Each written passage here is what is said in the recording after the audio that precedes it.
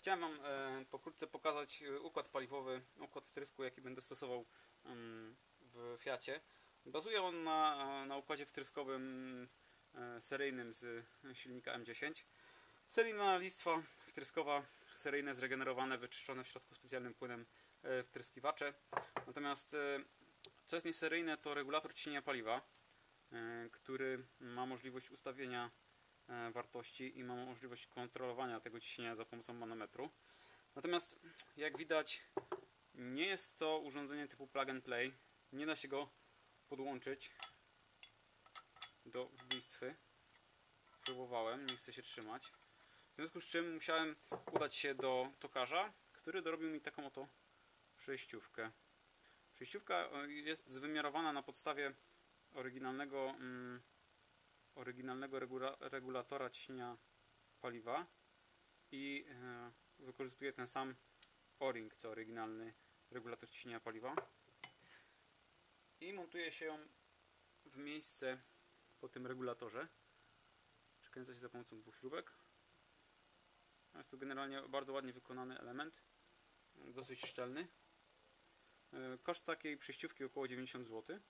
No i y, z tej przejściówki mm, wężykiem podłączymy się do tego regulatora ciśnienia paliwa, który pozwoli nam podnieść ciśnienie paliwa z książkowych bodajże 3,2 bara do 3,5-3,7 bara, coś w tych okolicach. Co pozwoli nam zrekompensować e, zużycie wtrysków, bo przy większym ciśnieniu będą e, lepiej rozpylały, a przy okazji, mm, przy okazji pozwoli nam trochę E, więcej, więcej tego paliwa w tym samym czasie wtrys e, wtryskiwać do kolektora.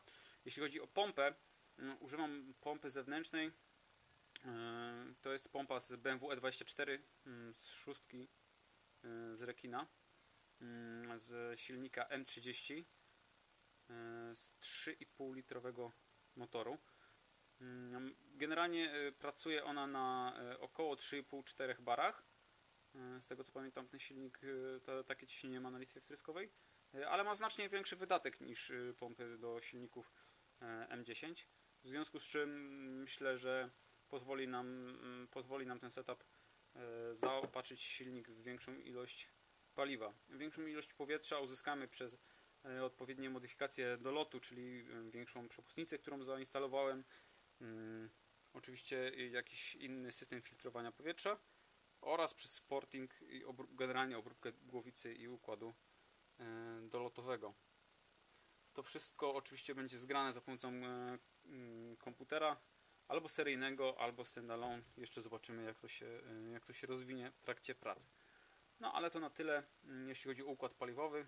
Reasumując, zastąpiłem fabryczny regulator ciśnienia regulatorem z możliwością ustawiania ciśnienia i z manometrem i wykorzystałem do tego taką oto zrobioną na zamówienie przejściówkę. No i stosuję mm, pompę o większym wydatku i delikatnie większym ciśnieniu. I to by było na tyle. Dzięki i do następnego filmiku.